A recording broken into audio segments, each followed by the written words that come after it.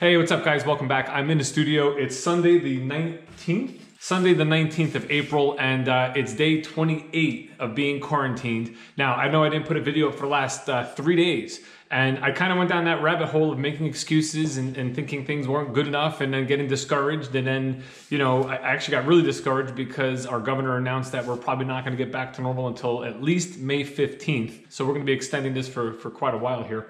And, uh, you know, I just, I didn't stick to my routine. And once you break that routine, you know, if you're not moving forward, you're moving backward. And that's essentially what I did for the last bunch of days. You know, I hooked the video games back up. I sat there and played Grand Theft Auto, and uh, which was a lot of fun. You know, it, it, got to a point where I had to say, you know what, I got to get back on track. So today's Sunday morning, and that's exactly what I did.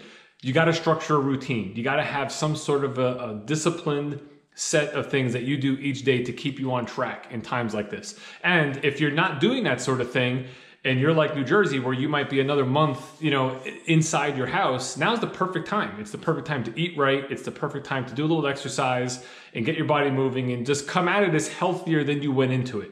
I think that's just a simple goal that everybody could achieve because now we all have the time to do that. So what I did this morning, I set my alarm 7:30. 7:30 alarm goes off. I'm up out of bed. Don't think about it. Just get up, turn your alarm off hop right in the shower. I like to take a cold shower in the morning. I'm talking hop in, put it to extreme cold, as cold as it can go. Let it hit you in the face. It jolts you awake. It neurologically wakes you up. Uh, your body goes to like a scientific thing that just like it shocks you awake. So I really enjoy doing that. I've been doing that for over a year. I started doing that last April when I heard about that in a podcast. Uh, then I went right outside. I ran my 5K came back in, did some push-ups, some pull-ups, some sit-ups, you know, did a little bit of a workout, a little bit of exercise. It took me all of 40 minutes to do, you know. Jumped back in the shower, got dressed, came down here, and uh, now I'm ready to continue my day. It's 10.30 in the morning. I feel absolutely great. So what I want to do to continue this feeling is I need to go look at some cars. You know, I want to get out there and I want to go look at some cars. So the way I see it, the dealership is closed. It's Sunday. I'm going to go from my place to my car to the dealership. I'm gonna take a look and see what's out there, maybe some new stuff that came in, uh, just kind of check out the lot, see what's going on, and then I'm gonna come back. So, you know, it's socially distant. I'm not gonna be around anybody, but it'll give me a chance to kind of get out in the open air, uh, get out in front of some cars, see what's going on in the dealership, and kind of psych myself up to get back into doing car videos once I get back to the dealership. So I'm taking you with me, let's go. We'll hit the road right now.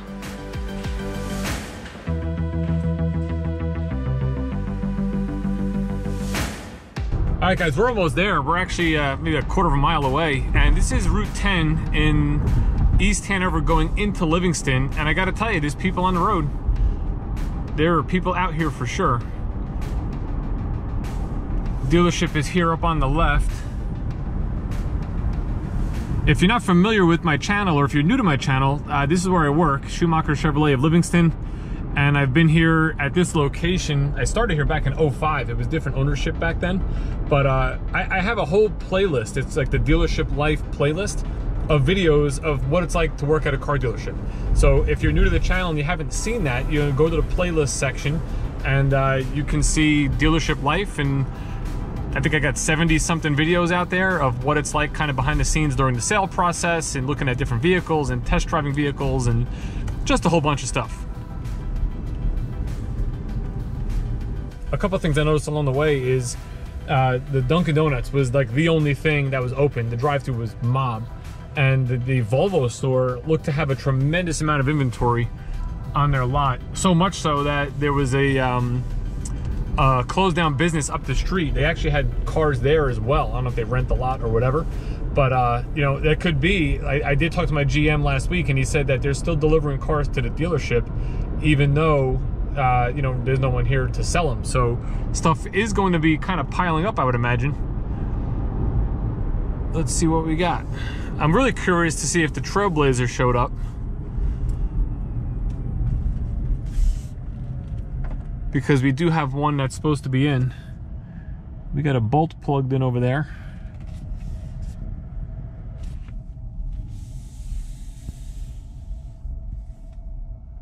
Used cars are pretty much uh, pretty much the same. There's that Lincoln we drove before. That was one of the last videos I made before uh, before this all happened. We ended up uh, trading that Lincoln in in a nice vehicle. It only had a few thousand miles on it.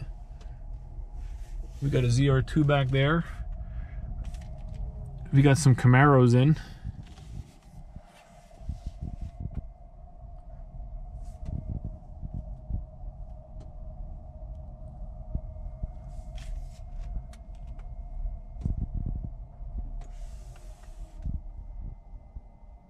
This is a 2020 Camaro LT uh, RS model in garnet red, which looks absolutely gorgeous. This one has the 10-speed automatic. Uh, MSRP, manufacturer suggested retail price, starts at 25.5. Once you add options in uh, the destination fee, you're around 32.9 on this with the V6, the 3.6 liter. And then here we got an SS. Now this is a 2SS in white sunroof. This one also has the automatic. And this one here, MSRP starts 42,000 and once you add options and destination, you're at around 49 and change. A couple of nice vehicles I wouldn't mind putting a test drive video together for you once I get back to work. This is our last 2019 Corvette. This one is an automatic, has the dual mode exhaust, has nav with the uh, performance data recorder, the black wheels, great looking car. I don't know. I haven't looked to see what rebates are and stuff like that so i don't know you know what kind of deals they have on these. But um i'm sure they, they got to have something special on them to kind of push them out.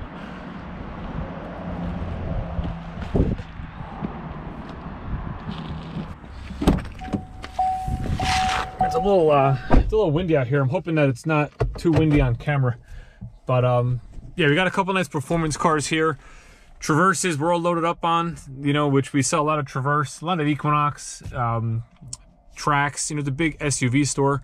I really wanted to see if we got a, a Trailblazer in because we're due to get one in very shortly. I'm to see if it's in the showroom, and if it's not, then uh, I'm guessing we didn't get it yet. You know, I'm really looking forward to get uh, to getting back to work. You know, it's like when you you have a purpose of what you do every day and when you lose that it takes a toll. Here's our area where we're doing deliveries. So basically this garage door opens and then inside there which i don't know if you can see on camera there's a nice sized table uh, two chairs or actually three chairs. So finance manager be on one side and then the customer on the other side. Definite six foot separation or so between uh between them and um you know basically customers that are, are buying cars through the online would come in, sign their paperwork there, and go right back out in their car and, and head out. No, uh, no demo of the vehicle, how things work, stuff like that, because you really you can't be in the car with somebody. It's uh, it's crazy. Let me just poke my head in here real quick.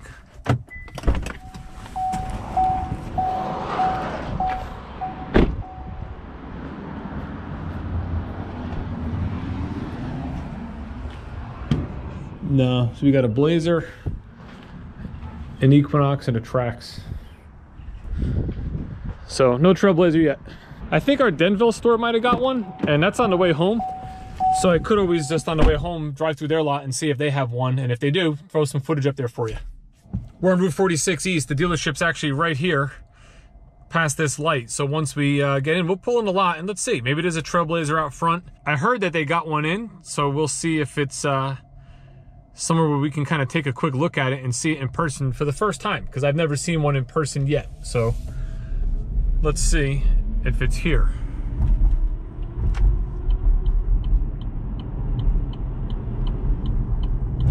And there it is right out front. Okay, looking good. I'm gonna pull over and get out for a second. Oh, they got another one over here. Let me just U-turn around here real quick.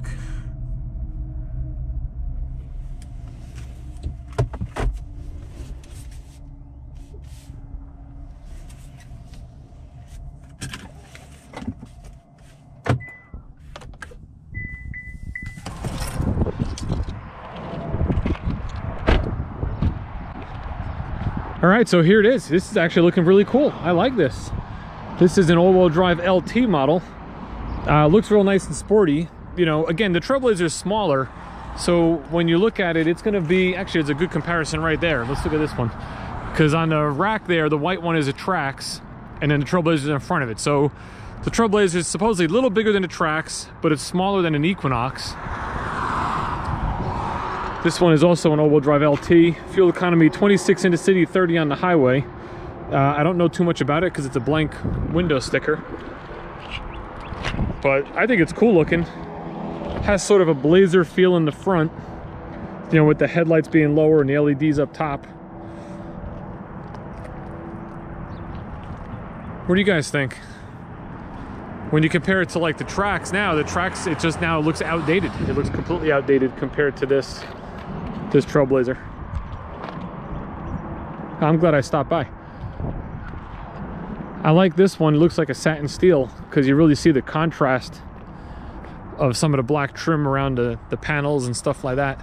I'm not familiar with these packages yet. I haven't taken any of the tests. I haven't really done too much studying on it. I definitely will once we get to that point we're back to work. Is it unlocked? No. Cool, I'm glad I stopped.